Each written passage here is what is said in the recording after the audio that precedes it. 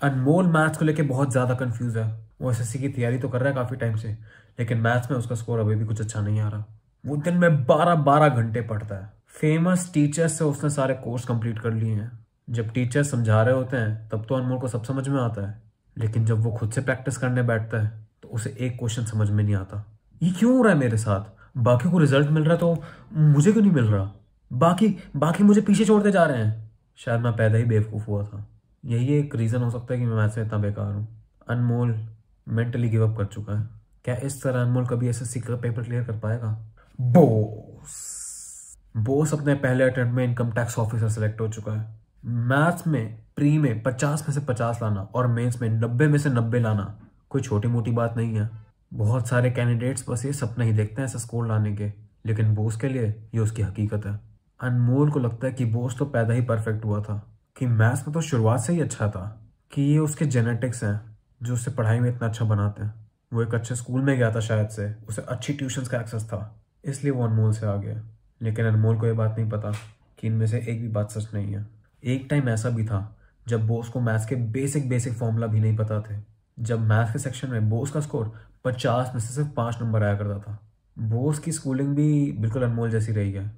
बोस की mental capacity same अनमोल जैसी ही है। बल्कि बोस एक ऐसे घर से आता है जहाँ पे उसे ट्यूशन भेजने के लिए पैसे नहीं थे उनके पास।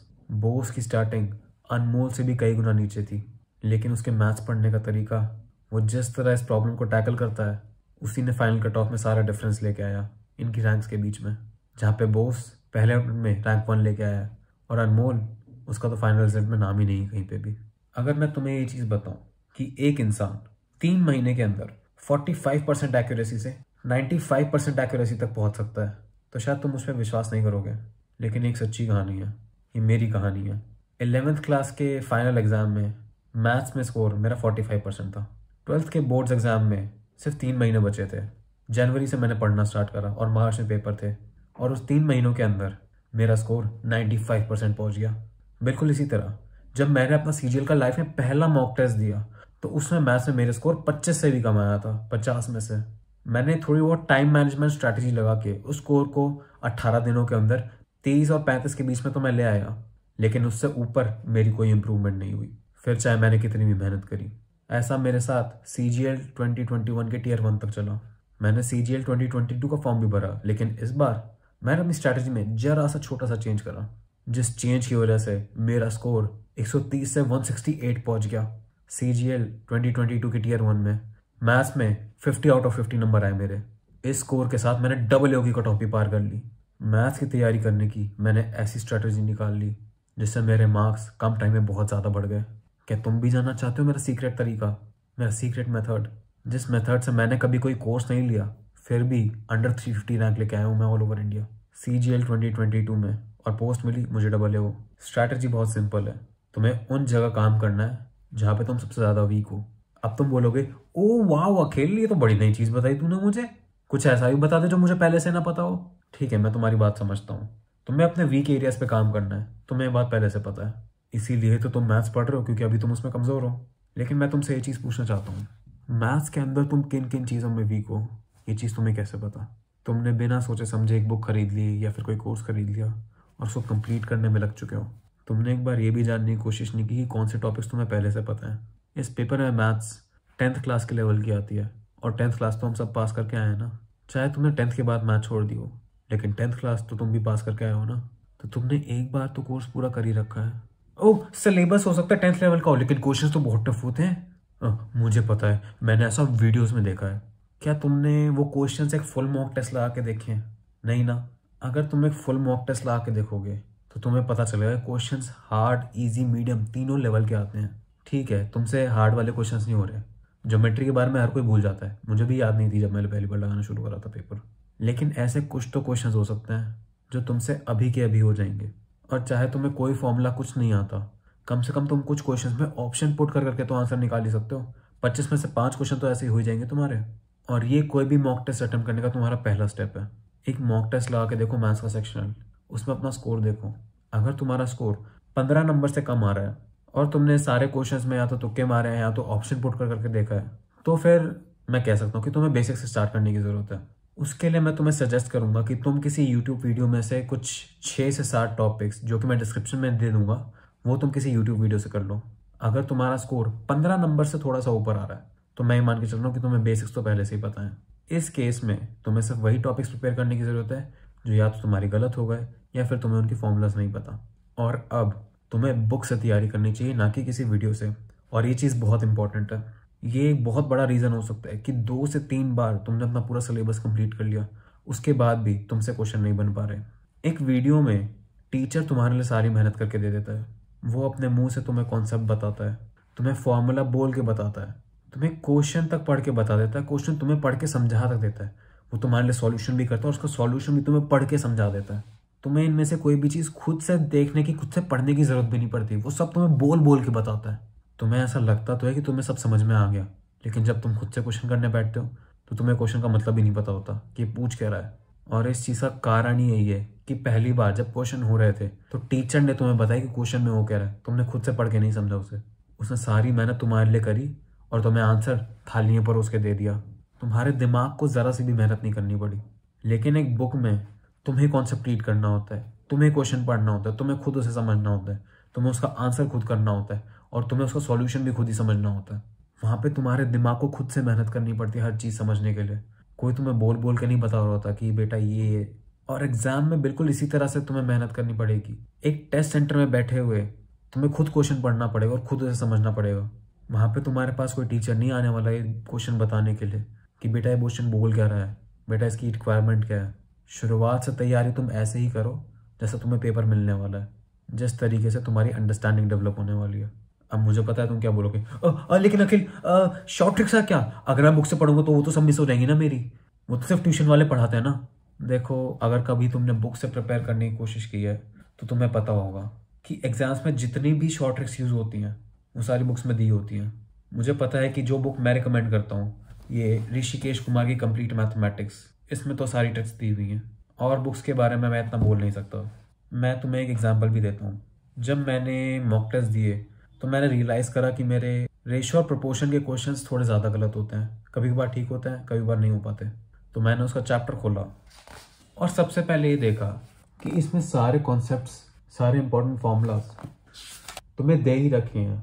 जैसे ये देखो एलिगेशन का रूल ये इस टॉपिक का सबसे इंपॉर्टेंट कॉन्सेप्ट है, सबसे इंपॉर्टेंट फॉर्मूला है, जो बहुत सारे क्वेश्चन में यूज़ होता है। और ये बुक में काफ़ी अच्छी तरह से समझाया हुआ है कई कई एग्जाम्पल्स कई कई फॉर्म्स में। अब जब तुम एक सेक्शनल टेस्ट अटैम्प्ट कर चुके हो, तुम्हें उसे एनालाइज करना है। पेपर को एनालाइज कैसे करते हैं, मैंने इसके लिए एक डिटेल वीडियो बना रखी है, वो ऊपर यहाँ पे, या यहाँ पे कहीं ना कहीं आ रही होगी, तुम वो देख सकते हो। एनालिसिस करने के बाद तुम्हें पता चलेगा कौन से कौन से चैप्टर्स हैं जिन पर तुम्हें फोकस करना है। तुम्हें उसके कॉन्सेप्ट समझ लेना है, तुम्हें उसके एग्ज़ाम्पल सॉल्व करने हैं। फिर तुम्हें उसकी एक्सरसाइजेस कंप्लीट करनी है और उसके बाद तुम्हें उसके टॉपिक वाइज टेस्ट करने हैं, जो कि टेस्ट बुक डॉट कॉम पर अवेलेबल रहते हैं अगर तुम्हारे पास टेक्स्ट बुक का सब्सक्रिप्शन नहीं है तो मैंने लिंक में जो है टेन परसेंट डिस्काउंट का एक लिंक दे रखा है, तुम वहाँ से जाके ले सकते हो। तुम्हारा गोल है कि तुम्हें ये सब करना है, एक चैप्टर एक दिन के अंदर, इस तरह कि उसमें 95 परसेंट एक्यूरेसी आ जाए। अब 95 परसेंट एक्यूरेसी कैसे आएगी? मैं तुम्हें बुक फिर से दिखाता हूँ एक बार। जैसा कि तुम देख सकते हो, सबसे पहले यहाँ पे सारे कॉन्सेप्ट दिए हुए हैं। फिर उसके बाद तुम्हें सारे फॉर्मूलाज भी समझाए हुए हैं। उसके बाद तुम्हारे एग्जाम्पल्स भी शुरू हो जाते हैं। एग्जाम्पल्स के बाद, इन एग्जाम्पल्स के बाद तुम्हारी पहली एक्सरसाइज शुरू हो जाती है। इसके बाद इसके सॉल्यूशन भी शुरू हो जाते हैं, जैसा कि तुम देख सकते हो। और उन सॉल्यूशंस के बाद तुम्हारी दूसरी एक्सरसाइज शुरू हो जाती है। ऐसे में तुम्हें सबसे पहले कॉन्सेप्ट पढ़ लेने हैं सारे। अब मैं तुम्हें ये नहीं कहूँगा कि तुम्हें नोट्स बनाने की ज़रूरत है, क्योंकि ये सब पहले से बुक में दिया हुआ है तो उसे बार बार लिखने का क्या फ़ायदा है? इससे बढ़िया तुम एक पेन लो और उन चीज़ों को अंडरलाइन करते चलो, या फिर इंपॉर्टेंट फॉर्मूलाज पे एक बॉक्स बनाते चलो। और ये चीज़ इंपॉर्टेंट है कि तुम ये पेन से करो, ना कि एक पेंसिल से। मैं चाहता हूँ कि तुम्हारे जो भी एक्शन हो गए, उनके कॉन्सिक्वेंसेज हों।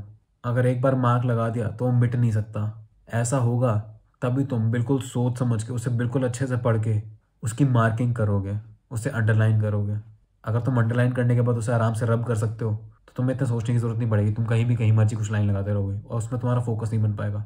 लेकिन अगर यही चीज़ तुम पेन से करोगे, तब तुम्हें पता है, एक बार मार्क लगा दिया, वो हटेगा नहीं। तो जब तक तुम हंड्रेड परसेंट श्योर नहीं हो, जब तक तुमने एक एक वर्ड पढ़ नहीं लिया, जब तक तुम्हें समझ में नहीं आ गया कि उसका मतलब क्या है, तुम उसे मार्क नहीं करोगे। क्योंकि अपनी बुक बर्बाद करने का किसी को मन नहीं होता फालतू में। तुम तभी अपने दिमाग से पढ़ोगे और ना कि अपनी आँखों से। Reading with mind versus reading with eyes आँखों से पढ़ना मतलब आइज़ से पढ़ना। इसका मतलब क्या है?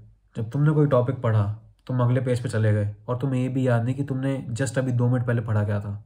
तुम अपनी आँखों से पढ़ रहे हो, बिना फोकस के। तुम्हें शब्द तो दिख रहे हैं, लेकिन उनका मीनिंग तुम्हें समझ में नहीं आ रहा। वहीं रीडिंग विद माइंड एक एक चीज़ जो तुमने पढ़ी है, तुम्हें सब दिमाग में बैठ चुका है। फॉर्मूलाज याद रखने के लिए तुम उन्हें एक बार ज़रूर लिख सकते हो कहीं ना कहीं। एग्जाम्पल्स करते हुए तुम्हें एकदम से सॉल्यूशन नहीं देख लेना है। पहले उसे कम से कम पाँच मिनट तक ट्राई करना है करने की। उसके बाद ना हो तो बिल्कुल सॉल्यूशन देखो। इन पाँच मिनट के अंदर तुम चाहे तो फॉर्मुलेस फिर से वापस जाके देख सकते हो, लेकिन तुम्हें सॉल्यूशन नहीं देखना है पहले। ये सारे एग्जाम्पल्स कंप्लीट करने के बाद अब एक्सरसाइज की तरफ़ बढ़ना है आगे। फ़र्स्ट एक्सरसाइज की तरफ़ आगे बढ़ो। उस एक्सरसाइज में देखो कि क्वेश्चंस कितने सारे हैं। जितने भी क्वेश्चन हैं, उतने ही मिनटों का टाइम लगा लो। एग्ज़ाम्पल के तौर पे लेता हूँ। अगर किसी एक्सरसाइज में सिक्सटी थ्री क्वेश्चन है तो तुम्हें एक सिक्सटी थ्री मिनट्स का टाइमर लगा लेना है अपने फ़ोन में। हर एक क्वेश्चन के लिए तुम्हें एक मिनट रखना है। एक्सरसाइजेस वैसे ही अटैम्प्ट करो, जैसे कि तुम टेस्ट दे रहे हो। अगर तुमने 93 परसेंट क्वेश्चन देख लिए, और तुम्हारी एक्यूरेसी उनमें 95 परसेंट बैठ रही है, इसका मतलब तुम्हें चैप्टर अच्छे से समझ में आ गया है, और आगे तुम्हें उसमें इतनी दिक्कत नहीं होने वाली। अगर स्कोर इससे कम बैठ रहा है तो घबराने की ज़रूरत नहीं है। अपनी मिस्टेक्स देखो सॉल्यूशन से उन्हें मैच करके देखो और फिर अगली एक्सरसाइज की तरफ़ बढ़ो। अपनी गलतियाँ देखने के बाद, उन्हें करेक्ट करने के बाद अगली एक्सरसाइज में तुम्हारे 93 परसेंट क्वेश्चन हो जाने चाहिए और 95 परसेंट एक्यूरेसी हो ही जानी चाहिए, अगर तुमने ढंग से फोकस के साथ पढ़ा है तो। अगर तुमने कैलकुलेशन में ज़्यादा टाइम ले लिया और तुम 93 परसेंट क्वेश्चन जैसे सौ में से 93 क्वेश्चन नहीं देख पाए उस केस में तो घबराने की ज़रूरत नहीं है। कैलकुलेशन की स्पीड तुम और प्रैक्टिस करोगे और चैप्टर्स की तो धीरे धीरे तुम्हारी इंक्रीज हो ही जाएगी। अब एक्सरसाइजेस खत्म करने के बाद भी तुम्हें टॉपिक वाइज टेस्ट की तरफ़ बढ़ना है, जो कि तुम ऑनलाइन दोगे बिल्कुल टेस्ट एनवायरनमेंट की तरह। अब ये पूरी process concept example exercises topic wise test तुम दो से तीन चैप्टर्स के लिए करो। और उसके बाद मैथ्स का एक पूरा सेक्शनल टेस्ट दो। ये देखने के लिए कि मैथ्स में तुम्हारी इंप्रूवमेंट कितनी हो रही है। ओवरऑल हर हफ़्ते एक दिन, कम से कम एक फुल टेस्ट और तुम लगाओ। ये देखने के लिए कि ओवरऑल तुम्हारे पेपर में कितनी इंप्रूवमेंट हो रही है इससे। इस मेथड को फॉलो करोगे सिलेक्टिव प्रिपरेशन का तो ना ही तुम्हारा कोर्स बहुत जल्दी कंप्लीट हो जाएगा। रिकॉर्ड टाइम के अंदर तुम्हारा स्कोर बहुत तेज़ी से बढ़ जाएगा। अब मुझे पता तुम क्या बोलोगे। लेकिन लेकिन अखिल, मैं मैं बुक से नहीं पढ़ सकता। मैं बहुत जल्दी बोर हो जाता हूँ। मुझे समझ में नहीं आता लिखा क्या हुआ है। मैंने तुम्हें शुरुआत में बताया था कि टेस्ट के अंदर तुम्हें खुद पढ़ के समझना क्वेश्चन में क्या लिखा हुआ है। अगर तुम पढ़ते चीज़ों को बोर हो जाते हो तो तुम एग्ज़ाम कैसे दोगे? अपने दिमाग को थोड़ा कंट्रोल में लाओ। अब तुम कोई पाँच साल के छोटे बच्चे नहीं रह रहे हो, जो तुम्हें ट्वेंटी फोर सेवन एंटरटेनमेंट चाहिए। और ये एक बहुत बड़ा रीज़न है कि इतने फ़ेमस फ़ेमस इतने नामी टीचर से पढ़ने के बाद भी तुम्हारे अच्छे मार्क्स नहीं आ पा रहे मैथ में। तुम वहाँ पे एंटरटेनमेंट के लिए जा रहे हो अब। इतनी जल्दी बोर हो जाने का रीज़न ये कि तुमने अपने दिमाग को इस तरह फ्राई कर चुका है टेक्नोलॉजी की वजह से, कि अब तुम पाँच मिनट भी किसी चीज़ पर फोकस नहीं कर सकते, अपने फ़ोन को चेक करे बिना। मुझ पर यकीन करो, जब तुम्हें रिज़ल्ट दिखेगा ना, तब तुम्हें कोई बोरियत नहीं होगी जब तुम्हें तुम्हारी मेहनत का फल मिलेगा ना तुम्हारी आँखों के सामने तब तुम बुक से अडिक्ट हो जाओगे। ओ, लेकिन मैं एक चैप्टर एक दिन में नहीं कर सकता। ये तो इम्पॉसिबल है। बड़े बड़े कोचिंग इंस्टीट्यूट एक टॉपिक को करने के लिए सात से आठ दिन ले लेते हैं। और तुम वो कह रहे हो वो एक चीज़ सेम तुम एक दिन से कम में कर दो। ये बात तुम्हारी बिल्कुल जेनवन है। मैं समझता हूँ। लेकिन मैं तुम्हें ये भी बताना चाहता हूँ कि जो तुम क्लासेस लेते हो वो दिन में एक से दो घंटे की होती हैं। अगर तुम वही same classes back to back attend करोगे तो चैप्टर पूरा एक दिन में कंप्लीट किया जा सकता है सात से आठ घंटे के अंदर। पेनाकल जैसी बुक करके हो सकता है तुम्हें तीन सौ से चार सौ क्वेश्चन मिले एक चैप्टर के अंदर। मेरे एक्सपीरियंस में बहुत ज़्यादा है। तुम्हें 95 परसेंट एक्यूरेसी तक आने के लिए इतने ज़्यादा क्वेश्चन करने की ज़रूरत नहीं पड़ती। मेरे एक्सपीरियंस में डेढ़ सौ से लेकर एक सौ अस्सी, यानी वन फिफ्टी से लेकर वन एटी क्वेश्चन तक काफ़ी रहते हैं। इतने में तुम्हें हर टाइप का क्वेश्चन दिख जाता है। जैसे मैंने अभी दिखाया, एक एक्सरसाइज के अंदर तुम्हें अस्सी से नब्बे क्वेश्चन मिलते हैं जो मैंने बुक बताई ऋषिकेश कुमार की। तुम वैसे करो, पहले अस्सी से नब्बे क्वेश्चन लगाओ, उसके सॉल्यूशन देखो, अपनी मिस्टेक्स करेक्ट करो। उसके बाद नेक्स्ट सेट में तुम अस्सी से नब्बे और क्वेश्चन लगाओ। इससे तुम हर टाइप का क्वेश्चन एक बार पहले सेट में देख लोगे।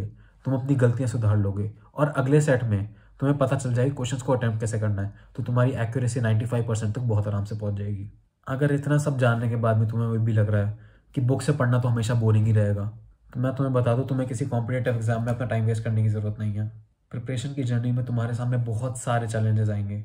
और अगर तुम्हारा ये एटीट्यूड है ना कि मुझे पढ़ने से बोरियत होती है कि मैं बुक पढ़ नहीं सकता दो मिनट, कि कुछ भी लिखा हुआ मेरे दिमाग में नहीं घुसता तो तुम सिर्फ़ अपना ही टाइम वेस्ट कर रहे हो। जाओ जाके किसी अनमोल की ज़िंदगी जियो। लेकिन अगर तुम्हारी ड्रीम है, तुम्हारा पैशन है, तुम्हें ऑफिसर बन के ही रहना है, तुम्हें पता है, इस जर्नी में बहुत सारी कठिनाई आएँगी, बहुत सारी दिक्कतें आएँगी, लेकिन तुम उनसे निपटने के लिए दिन और रात एक करने के लिए तैयार हो। तुम मेहनत करने के लिए तैयार हो। तो मैं तुम्हें बताना चाहता हूँ कि तुम्हारे ये जो भी कंसर्न है, तुम्हारे जो भी ख्याल है ना, इन सबसे फ़र्क नहीं पड़ता।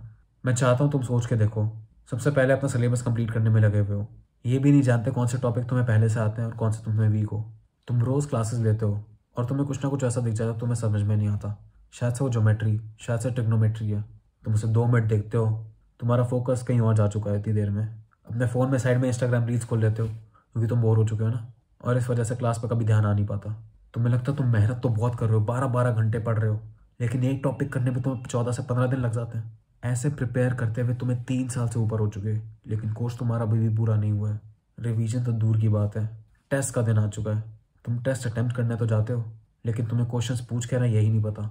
कोई एक हार्ड क्वेश्चन तुम्हें दिख जाता है, उस पर तुम पाँच मिनट वेस्ट कर देते हो और फिर उसे गलत मार्क करके आगे बढ़ते हो।